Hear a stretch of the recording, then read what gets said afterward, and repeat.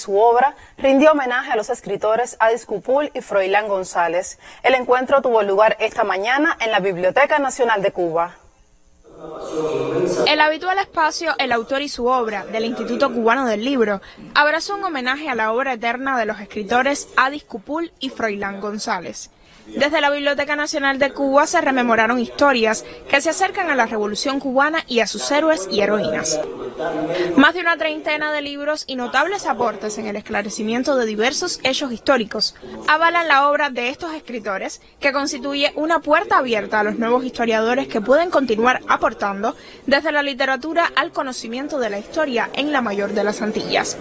hallaron y trajeron a Cuba un inmenso patrimonio vinculado con la presencia del Che en la guerrilla boliviana, legado que hoy forma parte de exposiciones del Museo de la Revolución y de la Comandancia en La Habana. Con un profundo valor como intelectuales, seres humanos, sabiduría, solidaridad y ejemplo como escritores de tantas pinceladas de nuestra historia,